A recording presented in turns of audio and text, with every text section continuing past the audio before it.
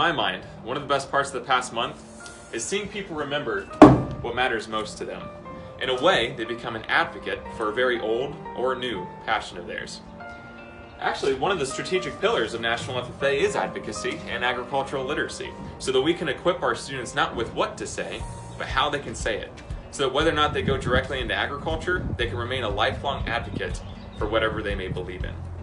The next crew that helped me out with this video took advocacy and put their very own unique spin on it. Hope you enjoy. Hello, my name is Anthony Agueda, and I am from Hughson FFA in the Central Valley of California. I am here on my family's third generation dairy farm to share with you my passion for agriculture advocacy. With the help of several industry experts, I have been creating a series of virtual field trips and live Q&A sessions, along with agricultural-based crafts and fun activities that participants can enjoy. Agriculture is and always will be the future of our industry, and these virtual field trips are one of the many ways that FFA members can continue to spread agriculture literacy. Thank you. Hi, I'm Avery, and I'm from Paso Robles, California. Through these challenging times we are facing, my floral team has been taking different approaches to reaching out to our community, starting with writing letters to people in nursing homes to help them feel less alone. We also wrote letters to touch base with our community members and ag industry partners. To help spread cheer and happiness, we have been giving away floral arrangements. My floral team has been heavily involved in Paso Robles, trying to help whenever we can by donating and raising money for different organizations. We feel everyone can use a little happiness in their life. I think my floral team is doing a great job supporting the Paso Robles area and being a positive influence during this time. Hi, my name is Jessica Helsinger. I'm the FFA advisor at the Covington FFA chapter in Ohio, and my chapter is hosting the 2020 Virtual Showmanship Challenge that's open to any exhibitor across the United States. Um, we even have an underage 8 category, and it goes all the way up to 21. There are several different divisions based on your species. Um, we even have uh, a rabbit and guinea pig division for showmanship, and a unique pet category. If your pet does an awesome trick, we would love to see it. Uh, video submissions are supposed to be 60 to 90 seconds, and you upload those at the link, um, which I'm sure National FFA will have on here. And we can't wait. May 1st, our entries are due. We're trying to get some sponsors together so we could even do banners for our award winners in each age division. And we're really excited about this opportunity.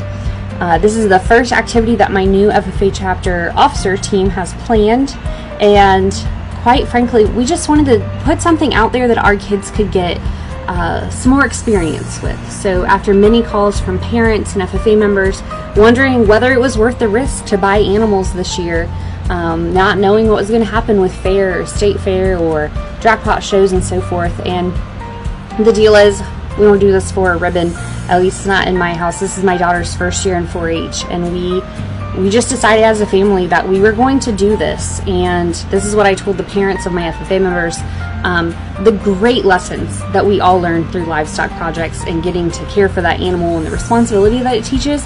And we wanted to bring that um, opportunity for our kids to show off those skills that they work so hard with these animals and develop that bond with them. So we hope you'll try the 2020 Virtual Showmanship Challenge and let us know if you have any questions.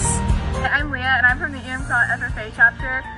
Over the course of seven weeks, our officers have split those weeks up so that each of us get to post what we want during the quarantine. And uh, during my week, I wanted to open it up to more members, and so I got the opportunity to invite more members to share pictures of themselves and their animals that make them smile.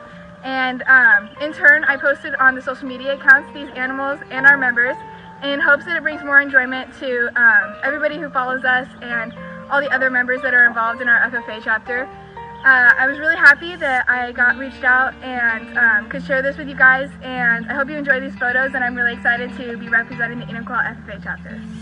Hey y'all, my name is Mallory Peoples. I'm from the Katy FFA chapter down in Katy, Texas. And recently, one of our chapter members, Brianna Davis, had the amazing idea to allow our seniors to retire their jacket via social media. The purpose of these posts were to advocate for all the hard work these seniors have put in for the past three or four years. In the agriculture industry, advocacy is known as publicizing your support for agriculture. However, my chapter put a spin on that and advocated for these seniors' experience. I was able to post a video of me retiring my jacket for the last time and caption it with my experience, journey, and some advice for the underclassmen. I was given the platform to advocate for this amazing organization. And during quarantine and staying home, we're all given the opportunity to advocate via social media, and that's what my chapter did. Hi, my name is Kayla McBroom, and I'm the Riverdo Chapter's Treasurer in California, and a proud member of the Riverside section and Southern region. Different ways advocacy has been shown in my chapter has been posting some cool DIYs that our chapter members could do while in quarantine. For example, on Earth Day, our chapter president posted how to make planters, and we will be using those to hang on our school farm. We are using our social media platforms to engage chapter members and show them that agriculture can stem from many different things. I think advocacy is important because not only are you giving families, teachers, and students the skills they need to succeed, but helping to unite and strengthen agriculture as a whole.